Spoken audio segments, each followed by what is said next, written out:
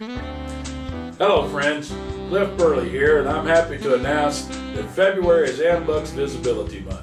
This is a time when we focus on ways to promote our organization and let the world know just what we do and who we are. In addition, on Saturday, February 20th, we'll officially celebrate National Service Day. Throughout this period, AMBUC clubs across the nation will organize various public relations campaigns to attract publicity and increase local awareness about our programs and mission. Remember to take lots of pictures and save any newspaper clippings and official proclamations you may receive.